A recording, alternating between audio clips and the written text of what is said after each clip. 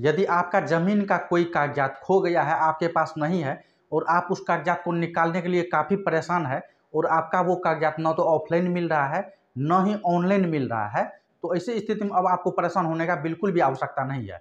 अब आप ज़मीन का कोई भी कागजात, चाहे वो रजिस्टर टू हो, डीड हो या कैबला जिसको कहते हैं, या फिर आपका खतियान हो ये सब कागजात आप डाउनलोड कर सकते हैं। यहाँ आपको बिल्कुल जो है नाम मात्र का फ़ीस देना होगा और आप डाउनलोड कर सकते हैं। साथ ही साथ आपके पास जो प्रॉपर्टी है, उसका यदि आप खतियान चाहते हैं तो खतियान आप बिल्कुल फ्री में डाउनलोड कर सकते हैं और बहुत अच्छा क्वालिटी में डाउनलोड करेंगे।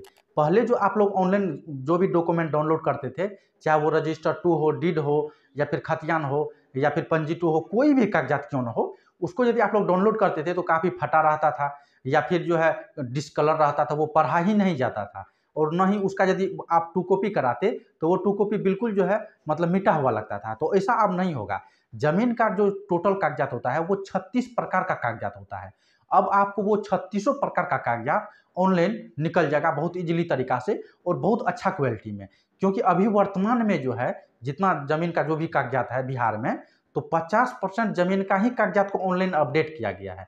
आपको बता दें, जहाँ अभिलेखागार में पहले से कागजात स्टॉक करके रखा गया था, जो भी कागजात रखा था अभिलेखागार में, या फिर आपका तहसील में जो कागजात था, वो सभी कागजात को एक कंपनी को दिया गया था ऑनलाइन अपलोड करने के लिए, स्कैन कर करके।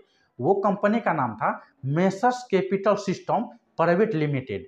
ये हरियाणा का कंपनी था। और ये कंपनी का गुणवत्ता का जाँच किए बिना ये कंपनी को कार्यभार दे दिया था कि बिहार का जितना प्रॉपर्टी का कागजात है, वो सभी कागजात को आप ऑनलाइन कीजिए। इस कंपनी को ये कार्यभार दे दिया गया था। तो ये कंपनी जो अभी तक में अपलोड किया है जो भी कागजात, वो कागजात का क्वालिटी बहुत खराब था। इतना खराब क्वालिटी था कि पढ़ने का लायक ही नहीं था।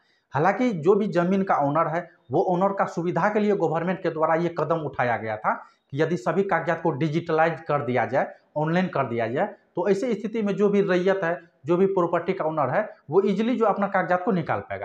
साथ ही साथ आप लोग को पता ही होगा, यदि आप लोग खतियान निकालते थे या फिर डीड के वाला निकालते थे तो वहाँ एक नाम मात्र का आपको फ़ी देना पड़ता था। तो ये फ़ीस देने के बाद जो है, उसको इस टाइप का कागजात मिल जाता था, जो पढ़ने का लायक ही नहीं था।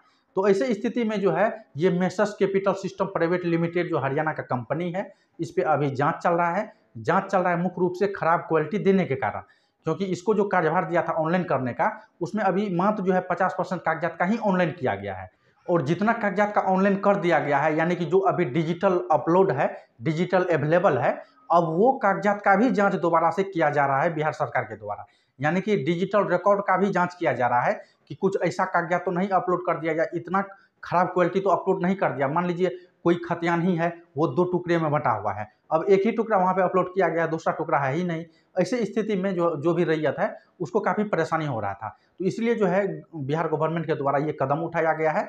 साथ ही साथ जो है, सभी डीसीएलआर को भी ये नियमित रूप से निगरानी करने को कहा गया है कि आपके अंदर में जितना तहसील है, जितना अंचल कार्यालय है वो सभी अंचल कार्यालय में जो है, आप लोग लगातार विज़िट करते रहिए और जो भी रैयत कागजात निकालने के लिए आ रहा है या फिर कोई कार्य से आ रहा चाहे उसका मोटेशन का कार्य हो या फिर और कोई कार्य हो या फिर बहुत व्यक्ति अभी दौड़ रहा है, उसका जो भी प्रॉपर्टी का डॉक्यूमेंट है, वो ऑनलाइन अपडेट ही नहीं है नेट पे मिल ही नहीं रहा है, उसका अंडर प्रोसेस में है। तो ये जितना कार्य के लिए आप लोग अंचल जाते थे या फिर तहसील जाते थे तो वो कार्य जो है काफ़ी लंबा पेंडिंग रखा जाता था। तो डीसीएलआर के द्वारा ये भी जो है अब जाँच पड़ताल किया जाएगा कि कोई रैयत को ज़्यादा परेशान नहीं किया जाए, ठीक है? और यदि आपका कोई कार्य ज़्यादा लंबा समय के लिए जानबूझकर कोई सीओ के द्वारा पेंडिंग रखा जा रहा है तो ऐसी स्थिति में आप डीएसएलआर को ये लिख के भी दे सकते हैं। उसके जो है संज्ञान में ये मामला को आप ला सकते हैं कि हमको काफ़ी तंग किया जा रहा है, मेरा काम नहीं किया जा रहा है। तो ऐसे स्थिति में यदि आपके पास ज़मीन का कोई भी कागजात नहीं है तो ऐसे स्थिति में आपको परेशान होने का बिल्कुल भी आवश्यकता नहीं है। अभी जो messrs capital system private limited है, उस पर जाँच चल रहा है। जैसे ये जाँच पूरा होता है, इसके बाद जो है या फिर दूसरा कंपनी को ये कार्यभार सौंपा जाएगा मतलब जो भी प्रॉपर्टी का कागजात है, उसको डिजिटल करने के लिए, या फिर इसी कंपनी को यदि सौंपा जाए तो अब जो आप लोग को क्वालिटी मिलने वाला है, चाहे वो रजिस्टर टू हो डीड हो, क्या वाला हो, जो भी कागजात हो, यानी कि टोटल जो है छत्तीस प्रकार का कागजात को अभी ऑनलाइन अपडेट करना है। गवर्नमेंट को। ठीक है? मतलब ये टोटल यानी कि ज़मीन का जितना कागजात होता है, वो सभी कागजात आपको ऑनलाइन उपलब्ध कराया जाएगा और बहुत अच्छा क्वालिटी में उपलब्ध कराया जाएगा। तो जब तक ये कागजात उपलब्ध नहीं होगा, तब तक जो है, अब आगे सर्वे का कार्य स्टार्ट नहीं किया जाएगा। साथ ही साथ अभी जो सर्वे का कार्य हो रहा है, वो जितना सरकारी ज़मीन है तो वो सरकारी ज़मीन का रिकॉर्ड खंगाला जा रहा है।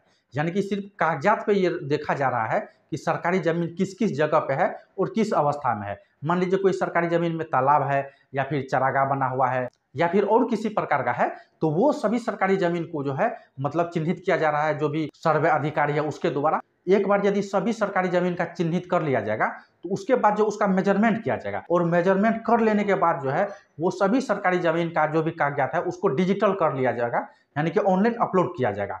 उसके बाद ही जो है जो है जो आम व्यक्ति है, उसका ज़मीन का सर्वे का कार्य प्रारंभ किया जाएगा। तो अभी गवर्नमेंट के द्वारा यही कहा गया है कि हम पहले जो है, जो भी कागजात है उसको डिजिटल करने पे हम ज़ोर दिए हुए हैं। पहले हम सभी कागजात को डिजिटल करेंगे और हंड्रेड परसेंट यदि डिजिटल का काम पूरा हो जाएगा, उसके बाद ही हम जो है सर्वे स्टार्ट करेंगे।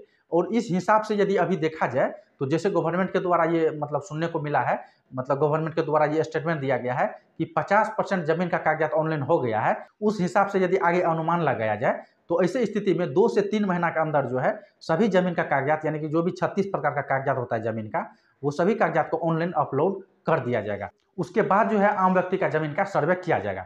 तो ऐसी स्थिति में यदि आपके पास ज़मीन का कोई भी कागजात नहीं है तो आपको परेशान होने की आवश्यकता नहीं है, उसको आप ऑनलाइन अपना मोबाइल से डाउनलोड कर सकते हैं। कैसे डाउनलोड करेंगे? वो वीडियो स्क्रीन पर आ गया है, उस पर क्लिक करके आप देख सकते हैं।